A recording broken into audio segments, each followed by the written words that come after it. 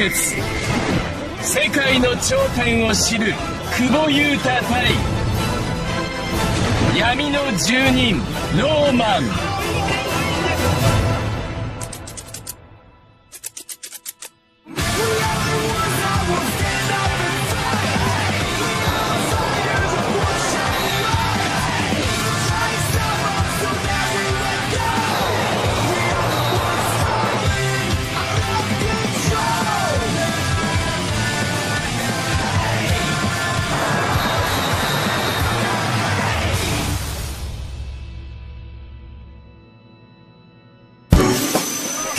60キロ世界王者ゲオ・ウィラサクレック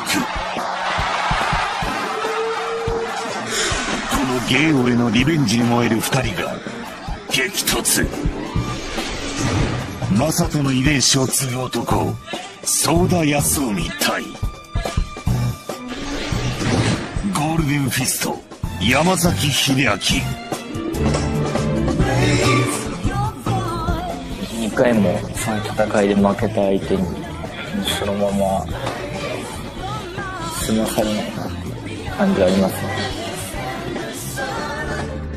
一昨年11月ソーダは世界トーナメント決勝でゲオ・ウィラサクレックに敗北。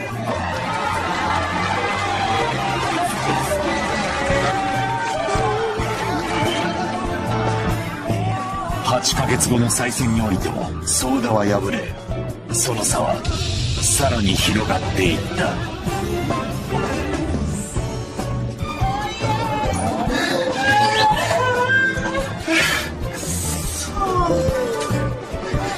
あの時の悔しさを胸にソーダは打倒ゲームへ向け日本トーナメントに出場。この優勝っていうのを決めてますね。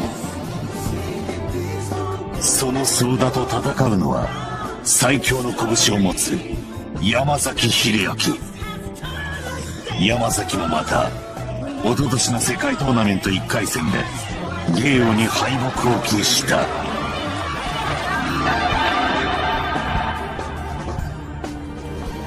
陥没してるわこのその上この試合で選手生命が危ぶまれるほどの大怪我を負ってしまう。あんな形でやられたままなんでまあ次は違うぞと。そういう気持ちですね。リングの借りはリングで返す。山崎は打倒ゲーオに向け肉体改造に着手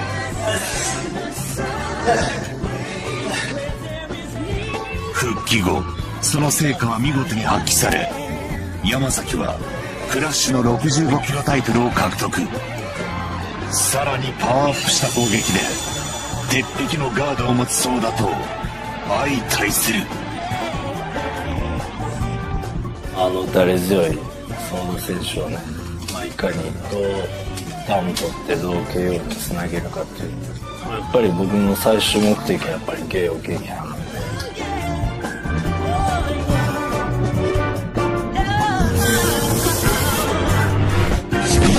K1 アンダー65キロ日本代表決定トーナメント。1回戦。左右田泰臣。VS 山崎秀晃青から177センチ64.8キログラム。日本 K1 ジムチームドラゴン。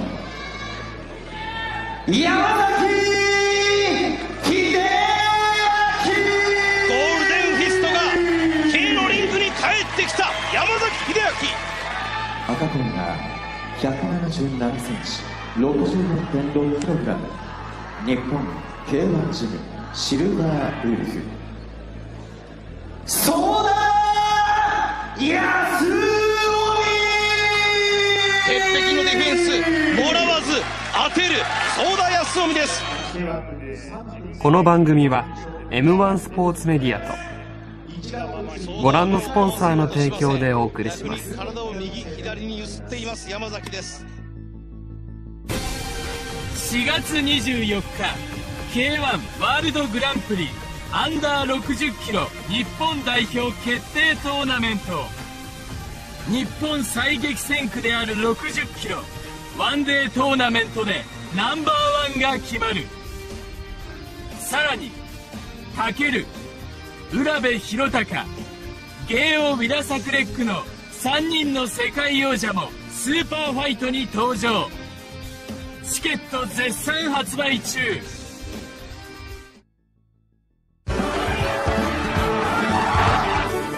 やっぱり目は大事ですよね。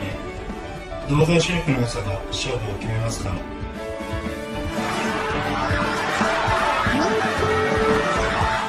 筋肉とか体調と同じように目のケアも大事だと思う。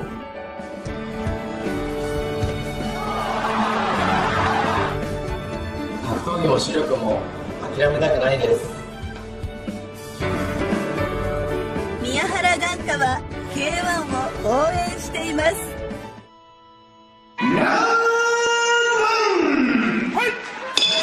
分3ラウンドいよいよ戦いが始まりました。相田康臣対山崎秀明です、えーマイクロフォンサイドには正人さんそしてアルコピースの平子祐希さん。さらにはスポーツライター中村拓実さんをお迎えしています。よろしくお願いします。よろしくお願いします。いや正人さんこれ屈指のカードですね。そうですね。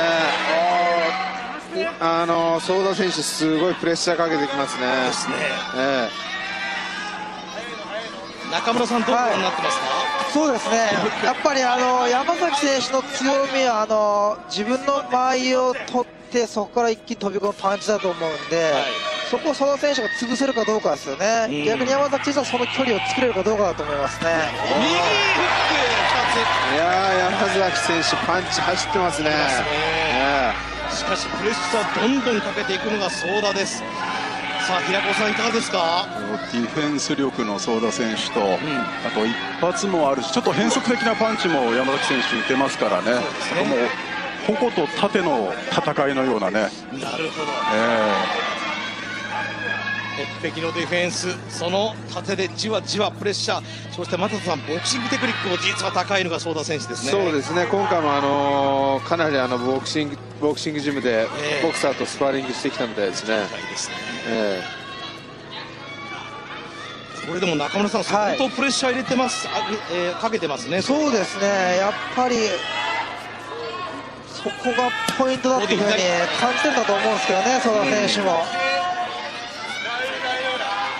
中村さんもともと山崎選手は63キロの選手でしたね。そうですね、まあ、ただあの、しっかりこの1年ぐらい、65キロに上げることを考えて体作ってきたので、うん。もう65キロ仕様だと言っていいと思います、ね、ちょっと手が止まった。あのー山崎選手ガードガードの上からもらってるんですけど、ちょっとあんまり良くないですね、山崎選手はやっぱステップ使って動いてる時が調子いいんで、これはちょっと良くないかもしれないですね、展開的に。うわーバックスピンキックだ。これがある。左フック右フック返す。さあ懸垂逆転か？でも山崎選手の一発重いですよね。ありますね。平子さんまさに一撃がある選手ですね。そうですね。その距離を相田選手詰めたいところなんでしょうけどね、潰して潰していければ今もう打ちやすい距離ですよね。こうやって動くと山崎選手の距離だと思うんですよね。うわ右フック入れた。山崎選手下がりながらの今さっきの膝のカウンターすごい良かったですね、いや正人さん動いてきましたね。ボディだ。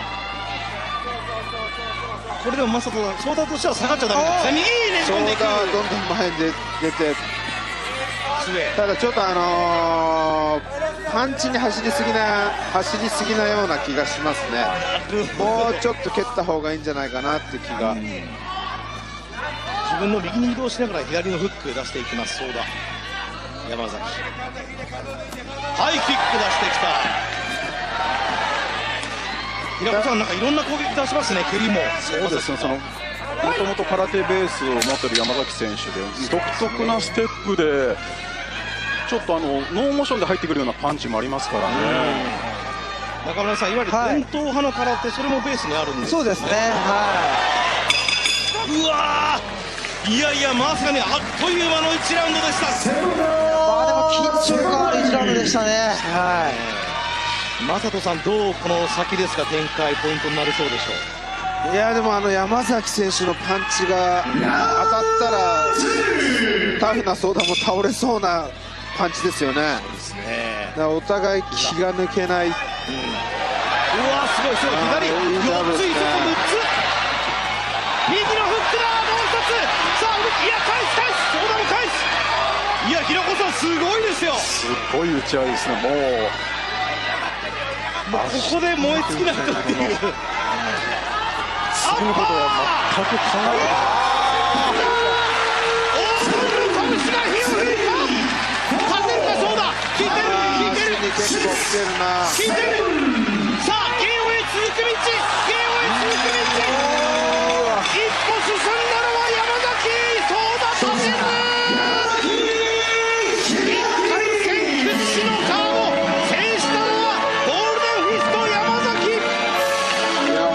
当に第一試合から全部 KO ですね。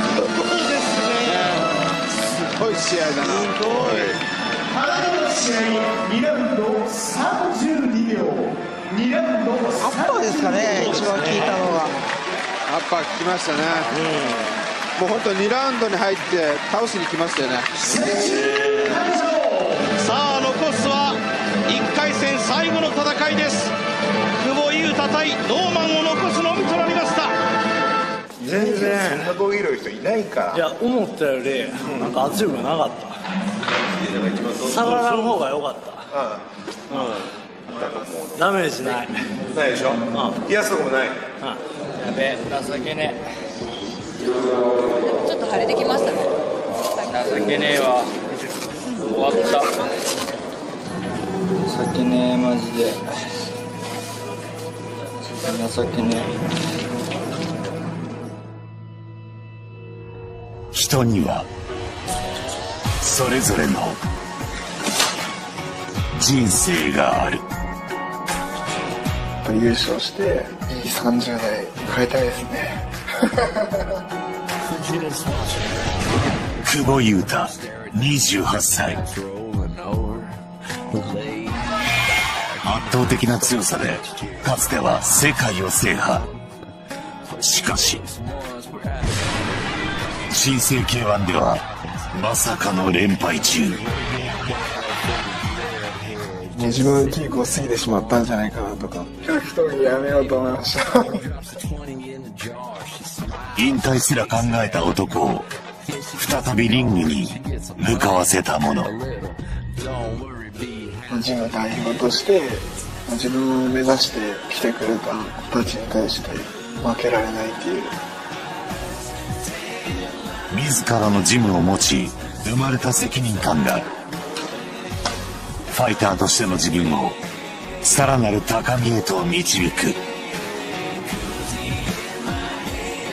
今の方が強いクブユータを見せれるんじゃないかなっていう世界最強のクブユータをですね。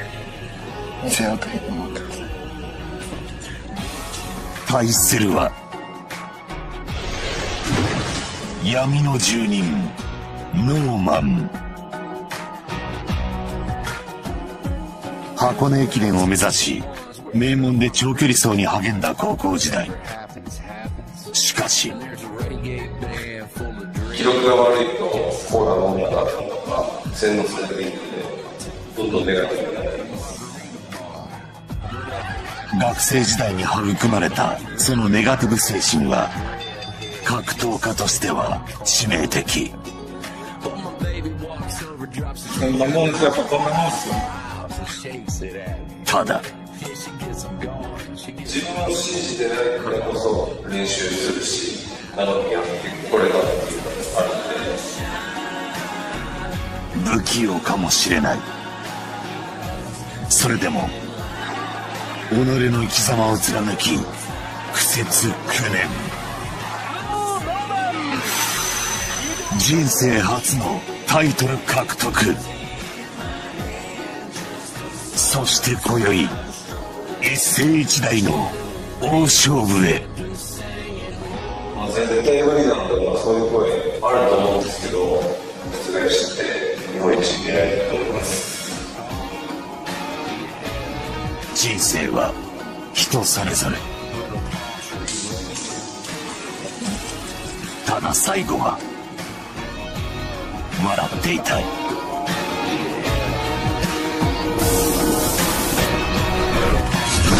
K1 アンダー65キロ。日本代表決定トーナメント1回戦。久保優太 VS ノーマン青森170センチ64.8キログラム。日本 DTS 地面。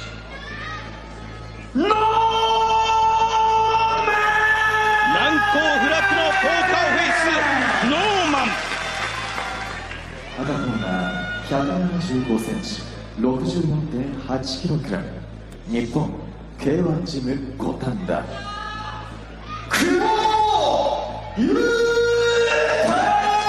界が恐れた微笑みスナイパー勝っていると話しましたさあ青いグローブのノーマンが先に手を挙げましたサウスポーに構えるのが赤いグローブ久保優太さあ正人さん本当にここのところは結果出せていない久保選手ですね。ですけどあの今日の久保選手の体見ると相当調子良さそうに見えますけどね。やはり分かりだいぶますか絞れてるし、なんか力強さ感じますよね。ね。あと今回、久保選手、走り込みだけの合宿やったりとか、あのかなりその昔むかやった練習をまた取り入れたというのを言ってたんですよね。はさあ前に詰めていきます。平子さんいかがですか？久保選手が野生の勘を取り戻す合宿を張ったという話をしてたんですけども体の仕上がりもいいですけど、ただノーマン選手が何か秘策を持ってそうで一番不気味ではあるんですよね。そうなんですよね。もう平子さんノーマン選手はもう先のこと考えてないって言ってましたね。ここだけって言ってましたね。この1試合しか自分は見てないんでっていうね。周りの選手が優勝優勝っていう並べる中、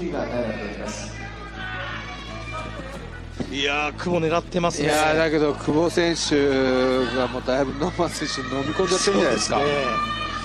だいぶプレッシャー感じてると思いますよ。うん。バックフロー、まあ、こういったところはあるが全然大丈夫とにやりと笑ったお互いです。ただねあのー久保選手絶対にあの気を緩めちゃダメですよね。そうですね。まあ、正人さんあのトーナメント思い出しますねあのゲイオとの戦い。そうですね。本当にあの一瞬の気の緩みがああ命取りですからね本当に。まあでもあのゲイをあれだけ追い込んだ戦いをできる久保でもあります。やっぱり実績過去の実績でいうと本当にナンバーワンですからね。ね世界一ですもんね。いまあ、ノイリ選手と直接対決でも勝ち越してますからね、久保選手は。そうですね。2勝1敗対ノイリ戦よくあの見えてますね、攻撃が。あそうですか。久保選手ははい。すごく調子いいと思いますよ、こうノーマン選手に休ませる隙与えませんボディーだ。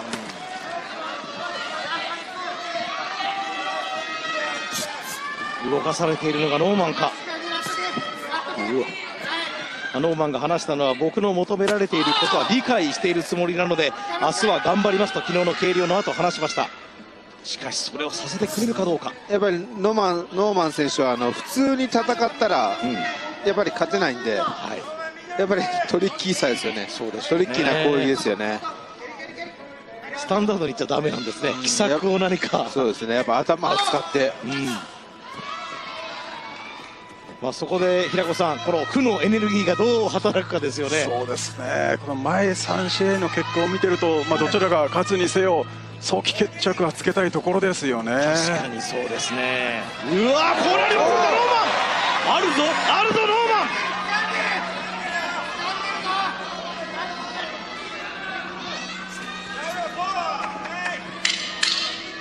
久保選手あの目だけで避ける癖がありますね。あれあれちょっと危ないかもしれないですね。うん。あそうですか、ここまで全てノックアウトで決着しています。さあここで第1ラウンド終了となりました。新人類最激戦区とも呼ばれる65キロの戦いです。ベスト4準決勝へ残る椅子は1つ。それを争うのが画面。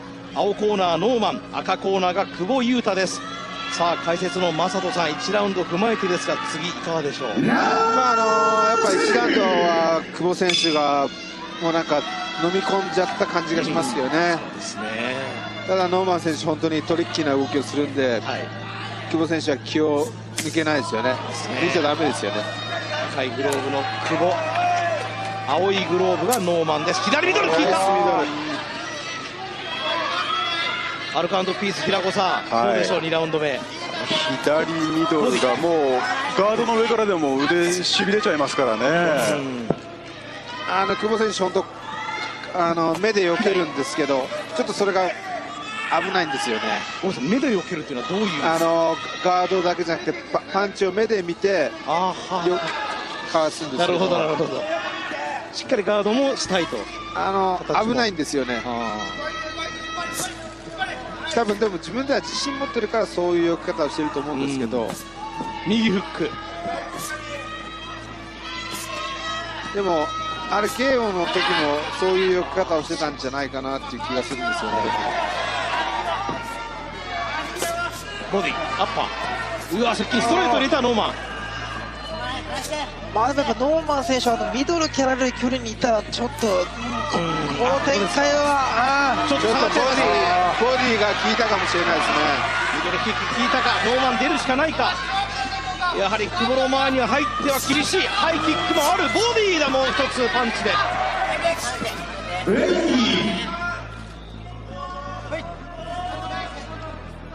リードを伸ばしながら左のミドルか。これがあーボディもちゃんとパンチも出してくるんで久すね。保選手ボディにボディ狙ってますよね。ね。バックローこれがある。いや平子さんでも何かありそうですよね。何か持ってそうですよね、久保選手の攻撃は勢いが今ついてるからこそ、一瞬の隙っていうのはどっかでできるでしょうからね。まあ、ここまでの1回戦の中では一番長い戦いになっています。とはいえまだ第2ラウンド。3分3ラウンド制です。残り1分になろうとしている時間です。こういうあの接近戦でのノーマン選手の下からのアッパーとか結構久保選手嫌だと思いますよ。ボディ中村さんいかがですか？こういう展開の方がまだノーマン選手はいいんじゃないですかね、距離取られて蹴られるよりは。そうですね。ノーマン選手はぐっちゃぐちゃにしたいですね。ドロドロの戦いの方がいいんですよそうですね。あとはやっぱり、はい、離れ際のバックブローとか何かああいうはちゃめちゃな技を使った方がいいですよね。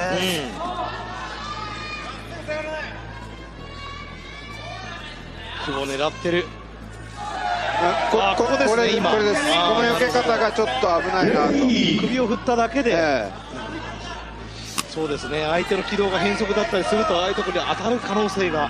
まあ自信があるからやるんですけど、まあ見てるちょっと危ないなっていうのは。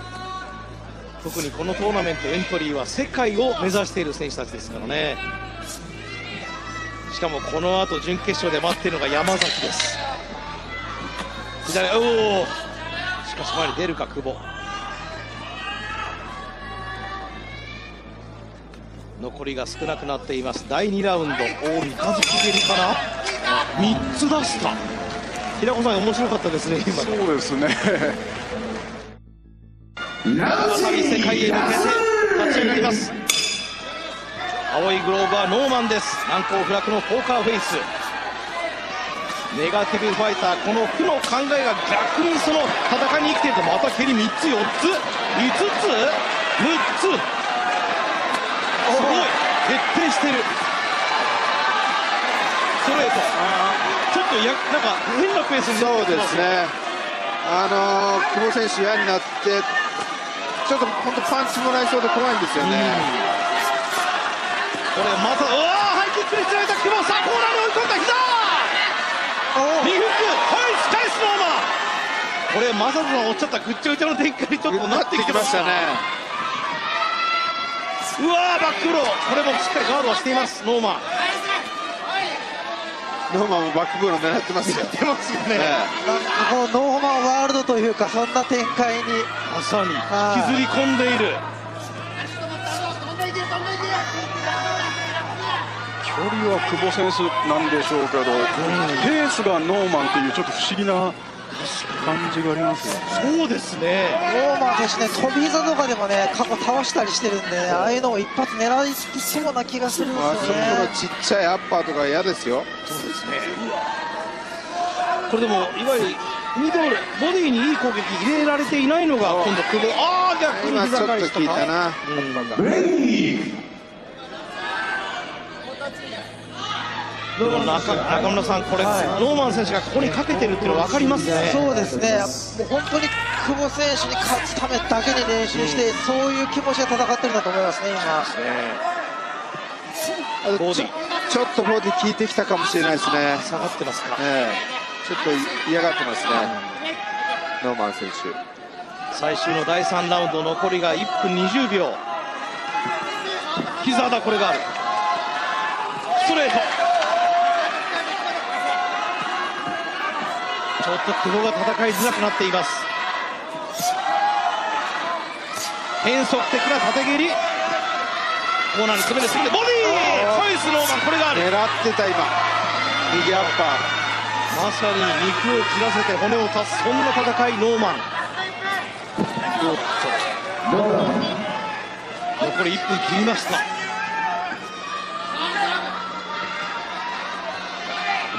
久保ハイキック使いでたボディストレート逆にノーマンだ。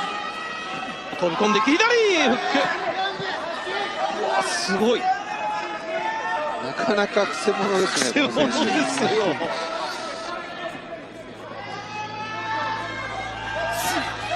残り30秒です。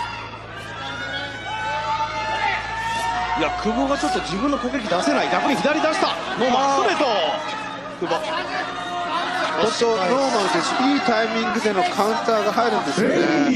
今も久保選手の膝に対してフックを返し合わせ合わせましたからね、ノーマン選手度重なる相手をつかむ反則に対して警告が与えられております。相手をつかむ反則があって警告です。さあもう残り時間はほとんどありません。残り10秒。さあどうか？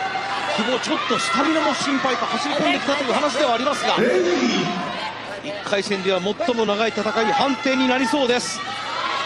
左のフックノーマンが踏ん張った。どうジャッジが見るかまあもちろんフルラウンドはありますからね1ラウンドから見てそうですね。最終的にはね、久保選手のこう自力がちょっと勝ったのかなっていう、はい、そんな印象ですね。お知らせいたしますさあ判定です。